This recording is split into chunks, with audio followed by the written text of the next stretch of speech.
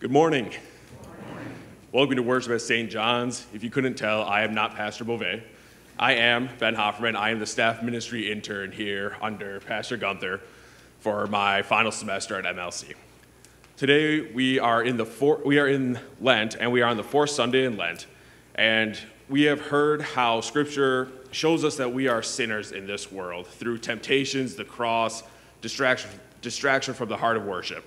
But today we will see the solution for those fa- failures, as heard in our sermon. We follow service setting two. One note is that the Kyrie will be spoken and not sung. May God bless our worship today as we begin with hymn 581.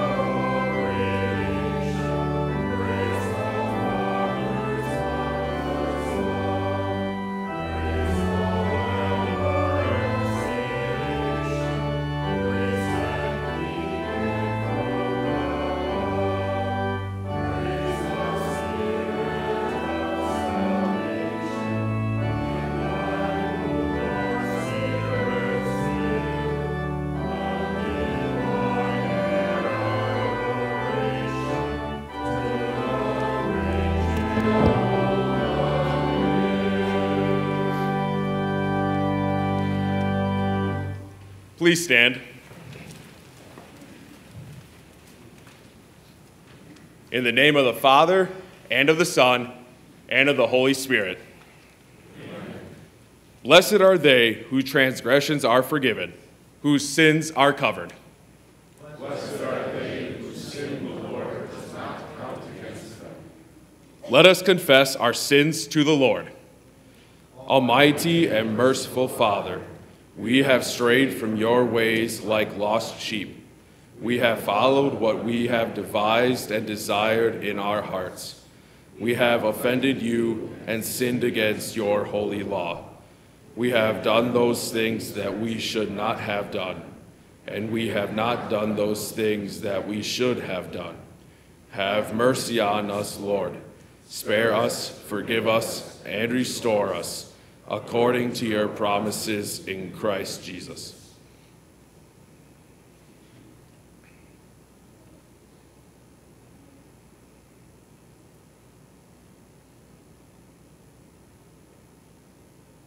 God, our merciful Father, has forgiven all our sins. He sent his Son, Jesus Christ, to be our Redeemer and Savior. Jesus paid the penalty for our guilt by his death on the cross and freed us from death by his resurrection from the grave. We have peace with God now and forever. Amen. In peace, let us pray to the Lord. Lord, have mercy. For the peace from above and for our salvation, let us pray to the Lord. Lord, have mercy. For the peace of the whole world, for the well being of the church of God, and for the unity of all, let us pray to the Lord. Lord. For this holy house, and for all who offer here their worship and praise, let us pray to the Lord. Lord. Help, save, comfort, and defend us, gracious Lord. Amen. The Lord be with you. With you. Let us pray.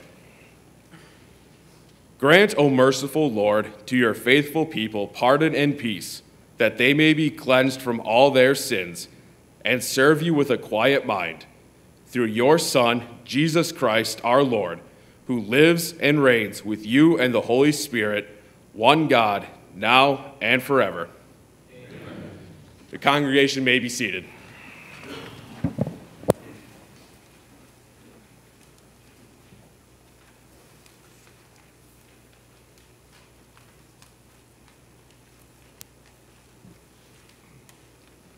Our first lesson comes from he- Numbers chapter 21, beginning at verse 4, where we hear that even though the Israelites' lives were difficult, their complaints were a slap in the face of a gracious God who rescued them from slavery in Egypt and provided for them in the desert.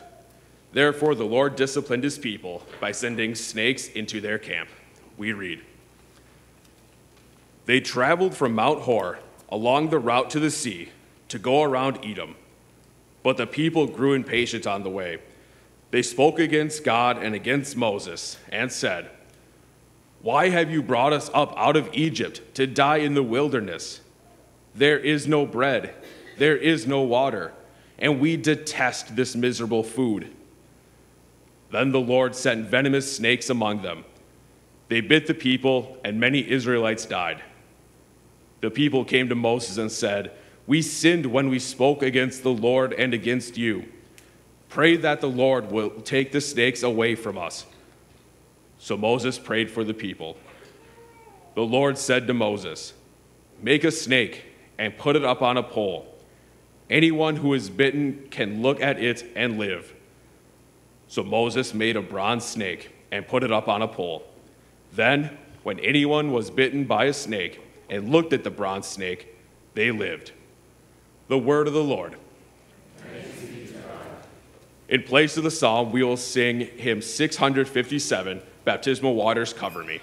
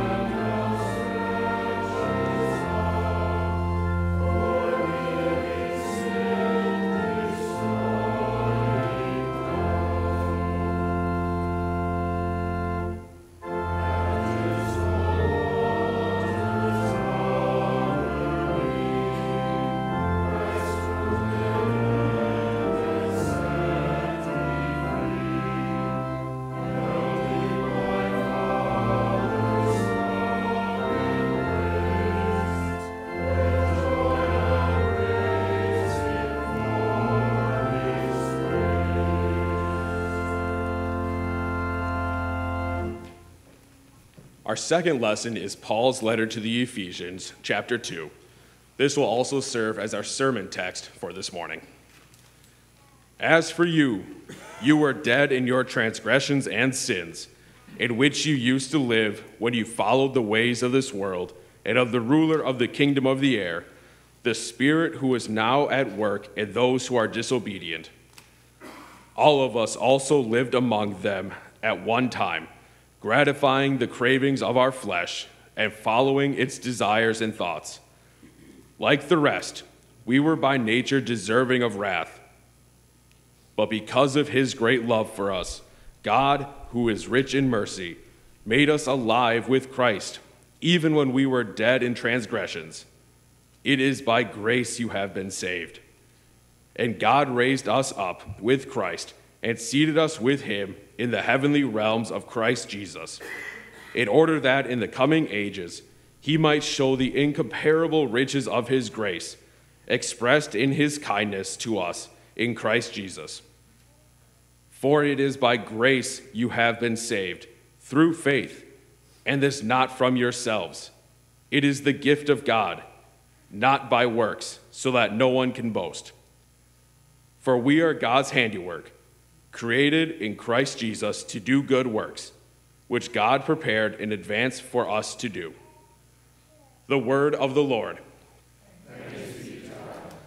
Please stand for the reading of the gospel. Today's gospel is found in John chapter 3, beginning at verse 14.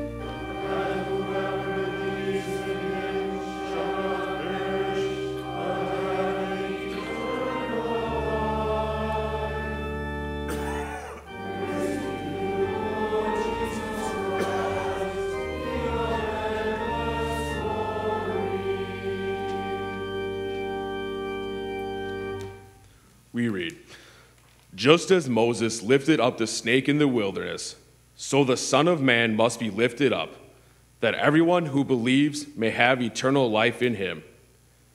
For God so loved the world that he gave his one and only Son, that whoever believes in him shall not perish, but have eternal life. For God did not send his Son into the world to condemn the world, but to save the world through him. Whoever believes in him is not condemned, but whoever does not believe stands condemned already because they have not believed in the name of God's one and only Son. This is the verdict light has come into the world, but people loved darkness instead of light because their deeds were evil. Everyone who does evil hates the light and will not come into the light for fear that their deeds will be exposed.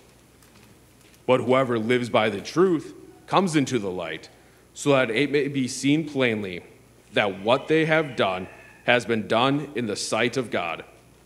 The Gospel of the Lord. We continue with the hymn of the day, hymn number 575, By Grace I'm Saved. The congregation may be seated.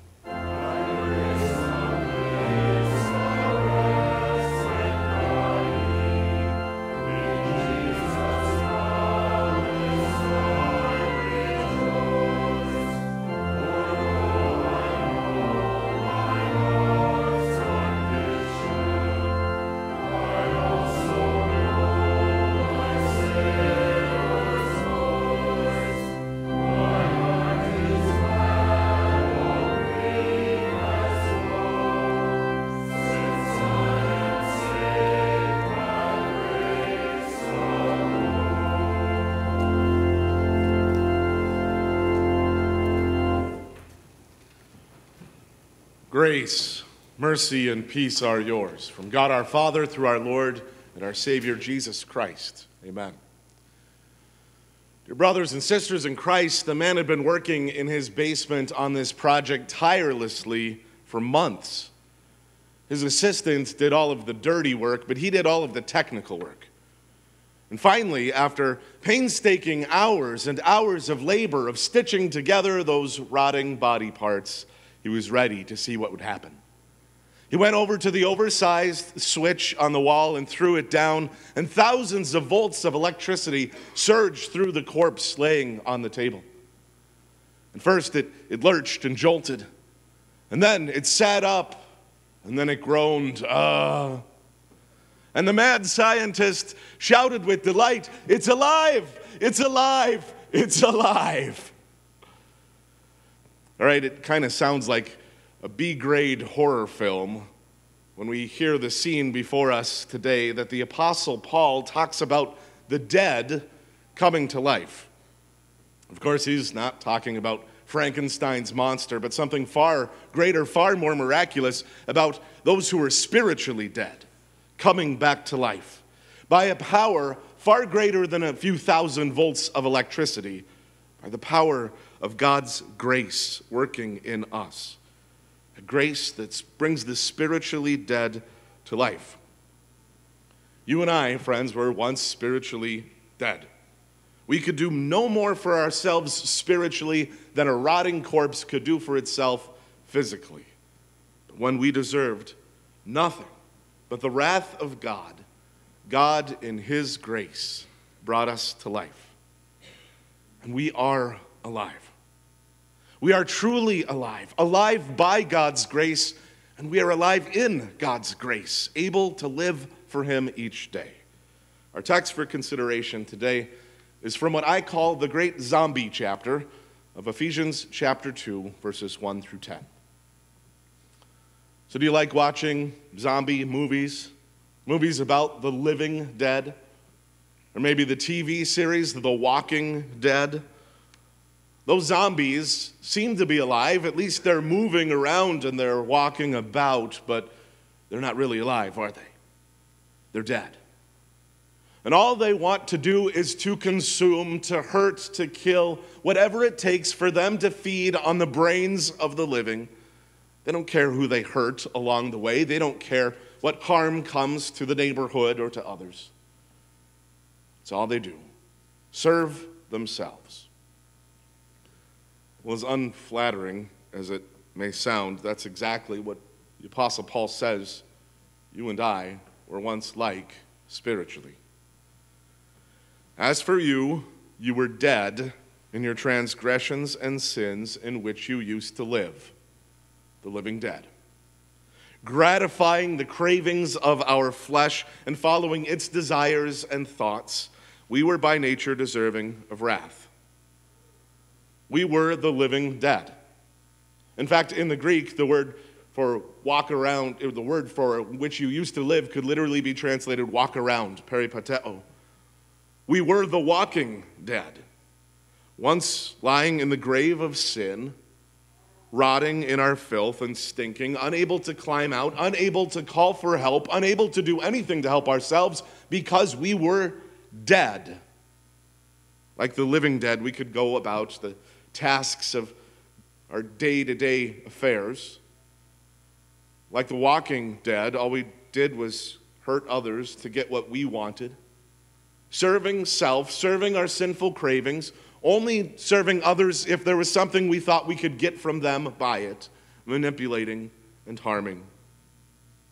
We stunk of the rot of our sinful natures, of the of the restless gossip, of the cruel backstabbing, of the selfish behaviors time and again, the anger and the malice that we showed to others, the shameful things that we did, our shameful thoughts known only to God, dead, lifeless, rotting corpses, unable to do anything good spiritually. That's what we were. But God.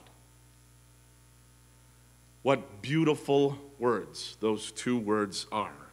when we were lifeless and powerless. But God.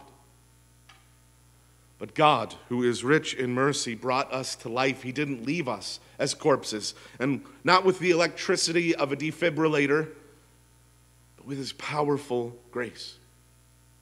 With water and the word, with the proclamation of some shepherd that He spoke through, with His love, with His mercy, by His grace The love that he's shown to you, though none of us deserve it. But because of his great love for us, God, who is rich in mercy, made us alive with Christ, even when we were dead in transgressions. It is by grace you have been saved. When we were incapable of producing a single good work before God, he saw our wretched situation. And moved by his seemingly incomprehensible love for rotting corpses, he acted. He sent his own son, who alone deserved to truly live in the glory of heaven, so that he might come and die. And because the living died, the dead can come to life. Because Jesus lived a perfect life in our place and became the sacrifice for our sin the sinless Son of God lived a blameless life, keeping every one of God's commandments, and then he took the blame for every one of our sinful thoughts and words and actions on himself and endured hell on a cross to pay for it all. And now all of our guilt has been exchanged for all of his holiness. What do we need to do to be saved? Nothing. We can do nothing. But we don't have to do a single thing, not even the faith that trusts in these promises is something we take credit for. That too is a gift of God, a gift by the Holy Spirit working in us. We receive the blessings of the cross. All is a gift, something unearned. When we were dead and incapable of faith, God made us alive. For it is by grace you have been saved through faith, and this not from yourselves, it is the gift of God. Whereas Martin Luther put it so well in his explanation to the third article, I believe that I cannot by my own thinking or choosing believe in Jesus Christ my Lord or come to him. But the Holy Spirit has called me by the gospel, enlightened me with his gifts. He's kept me in the true faith. In the same way, he calls, gathers, enlightens, and keeps the whole Christian church on earth in the one true faith. We who were once spiritually dead and bound to die forever in hell, like the living dead, never able to fully die but would keep on living and suffering and regret, have had God act. But God. And we've been made alive, not by anything we've done, but made alive by grace alone. And now, now we can truly live because we are not just alive by grace, we are alive in grace. When Paul describes God bringing the dead to life, the result is not a bunch of rotting body parts stitched together in some monstrosity that Dr. Frankenstein made in his basement. No, instead, when God makes us spiritually alive, he makes us rich with life. Lives that can sing and dance and praise God and give glory to Him in all that we do as we live in this grace each day. Paul goes on God, who is rich in mercy, made us alive with Christ. God raised us up with Christ and seated us with him in the heavenly realms in Christ Jesus, in order that in the coming ages he might show the incomparable riches of his grace expressed in his kindness to us in Christ Jesus. You see, God didn't just take us out of the grave so we can wander around in the graveyard, He took us out of the graveyard altogether. In John 10:10 10, 10, Jesus said, "I have come that they, that is his sheep, his followers, may have life and have it to the full." We're no longer destined to just wander around aimlessly like zombies in this dreary world. We know that we will go to heaven to be with our Savior. And that truth helps us to live in God's grace right now. And what a life it is, because in this Christian church, He daily and fully forgives all sins to me and all believers. You and I, dear friends, now have the incredible privilege of living every moment of our lives in thanks to the one who made us alive. For we are God's handiwork, created in Christ Jesus to do good works, which God prepared in advance for us to do. We are God's creation. And as such, we're not just some collection of body parts. No, we are God's masterpiece, His work of art, in which His glory is displayed in our lives as we live for Him. He has shaped us, to be sure, by water and by the word and by the challenges of life, but He has made us who we are and given each of us opportunities that surround us each day that we get the privilege of choosing from and how we might best serve Him in the next moments. He's created good works for us to do. So, what constitutes a good work? Well, my catechism students know that a good work must meet two criteria. It must be driven by the right attitude, namely gratitude to God for what He's done for us in Christ. And secondly, it must be the right action, namely something that God tells us He wants us to do according to His Word. And so, a good work then is any act of loving kindness performed out of thanks to God and in service to our neighbor. A young stay at home mom once put a sign above the kitchen sink that said, Worship services held here three times daily. It was her way of reminding herself that as she did the dishes with joy in her heart and service to her Savior, these were good works that she could perform. She showed her gratitude to what Jesus had done for her. She was really living the life, alive in every way. Have you ever been on a vacation and said to yourself, Now this is the life? Well, in view of God's great grace for us and bringing us to life when we were spiritually dead, we can say that every day, even when we're not on vacation, because it transforms all of those mundane tasks into acts of worship. Driving the kids to school, under the speed limit, of course, and not yelling at them when they're getting cranky in the back, is an act of worship to your Savior when done out of love for Him. Being kind to your spouse, even when he or she is being irritable, because you love Jesus, is an act of worship to Him. Doing your homework to the best of your ability, even when you'd rather be playing video games, because you want to bring glory to God, to thank Him for what He's done, is a good work. Answering those emails or making yourself available to that person who seems so needy so much of the time, even when you'd rather just shut off your phone, is an act of worship to your Savior when done out of love and thanks to Him. All of these become more than just mundane tasks. They're good works that God has prepared for us to do. And when we do them in view of the cross and in thanks to our Savior, then we can say, now this is the life. Remember, friends, what you once were. Spiritually dead, lifeless corpses, zombies just wandering about, consuming and craving. And remember what you are. Spiritually alive in every way, already seated with Christ in the heavenly realms, brought to life not by your efforts nor by your decision, but entirely by God's grace, with the privilege of living a life of thanks to Him in this life of grace. And as you continue to live your life in thanks to Him, then you will really live. Then you will live life to the full. In Jesus' name, dear friends, you are alive. Amen. I invite you to stand. May our Lord of peace himself give you peace at all times and in every way by the life given you in Christ our Savior. Amen. Having heard of God's grace given us in Christ, we now join together to encourage each other by confessing the faith that we mutually share. This morning we'll use the words of the Apostles' Creed as they're found on page 181.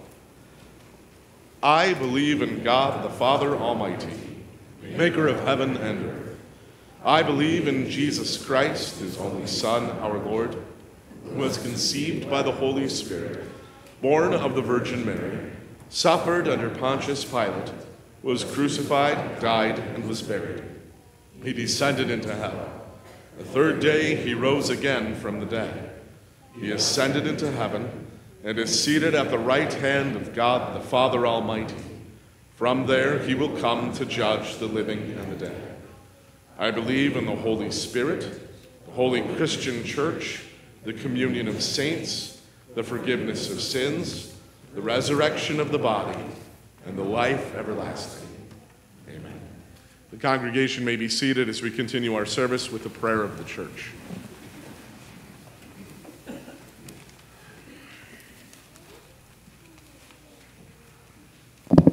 Before we continue with the responsive prayer on page 182, we offer several prayers of intercession. We pray.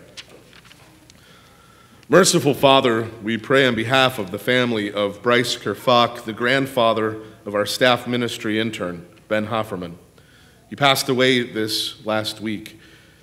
Take into your care those whose hearts are so affected by his death and lead them to look to you for confidence and strength to face the future.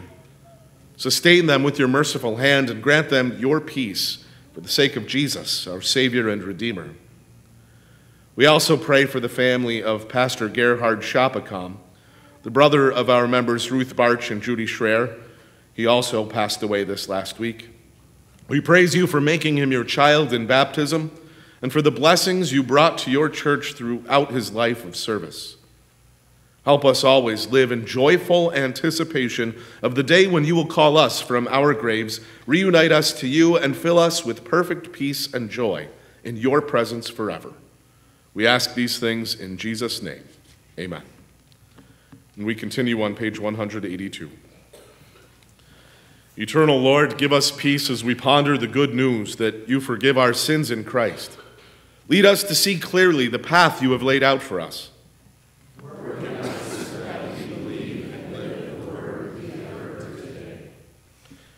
Provide courage and compassion to all who preach and teach your word. Fill them with a love like yours as they proclaim your grace to us and all people.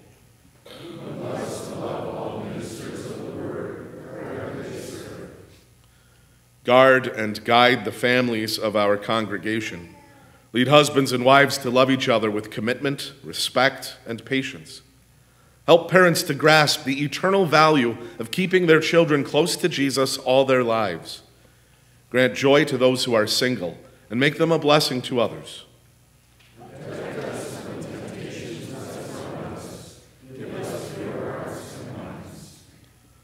Provide wisdom and insight to those who make laws and set policies. Give us respect for those who protect us from crime. Lead us to value the rights of our fellow citizens and to defend those who cannot defend themselves.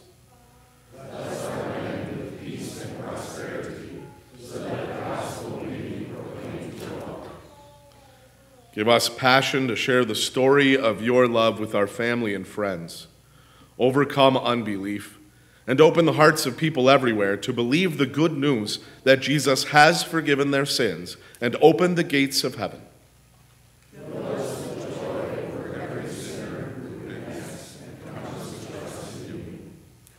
Extend your healing power to those who are sick and suffering in body or mind. Give patience and compassion to all who care for the sick and dying.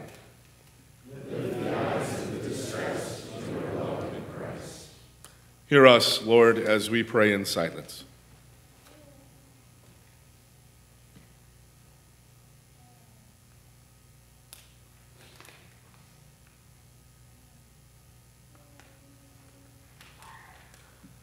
Gracious God, you govern and direct all things, and you love all people. Hear our prayers, spoken and silent, and answer them in your wisdom and grace. In Jesus' name we pray. Amen. We continue our service now as we offer, gather our offerings in response to God's grace that has made us so alive.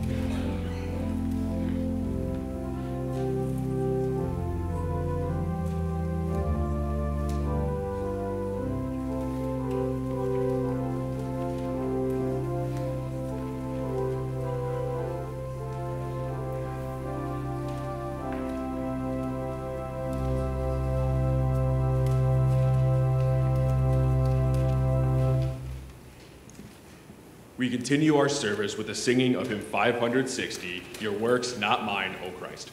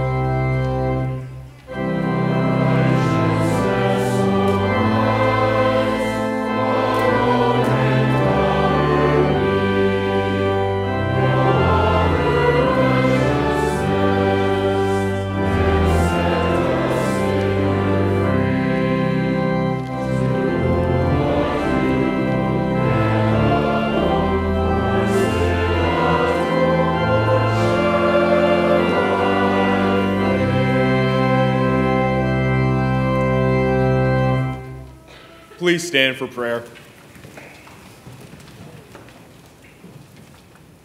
We pray. Almighty God, we thank you for teaching us the things you want us to believe and do. Help us by your Holy Spirit to keep your word in pure hearts, that we may be strengthened in faith, guided in holiness, and comforted in life and in death. Through Jesus Christ our Lord, who lives and reigns with you and the Holy Spirit, one God, now and forever. Our Father in heaven, hallowed be your name. Your kingdom come, your will be done on earth as in heaven. Give us today our daily bread. Forgive us our sins, as we forgive those who sin against us. Lead us not into temptation, but deliver us from evil. For the kingdom, the power, and the glory are yours, now and forever. Amen. The Lord bless you and keep you. The Lord make his face shine upon you and be gracious to you. The Lord look upon you with favor and give you peace. Amen. The congregation may be seated for our closing hymn, number 811, My Faith Looks Up to Thee.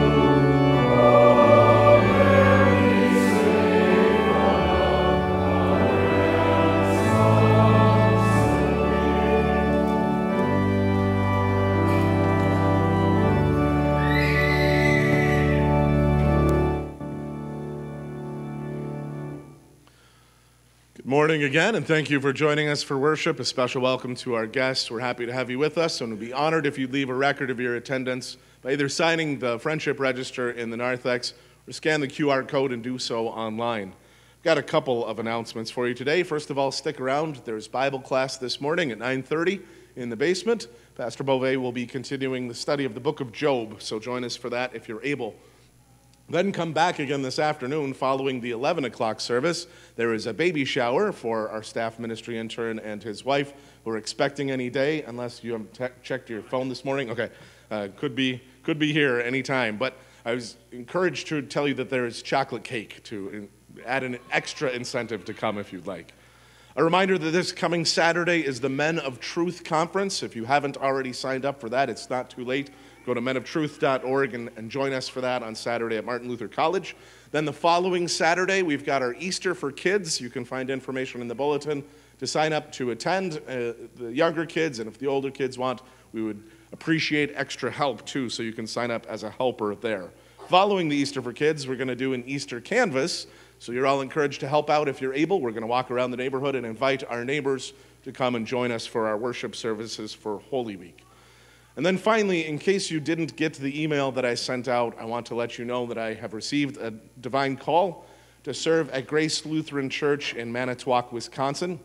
It is not the same church that I already returned a call to in Manitowoc. That was First German. Uh, my wife has also received a divine call to be the preschool director at Jesus Lambs of Grace preschool there as well. So we would appreciate your prayers and your conversations as we both are deliberating calls now. Um, keep us in your prayers, please. With that, may you go rejoicing in the life that God has given you when you were dead in transgressions and sins. You are now truly alive. God be with you, friends, until we meet again.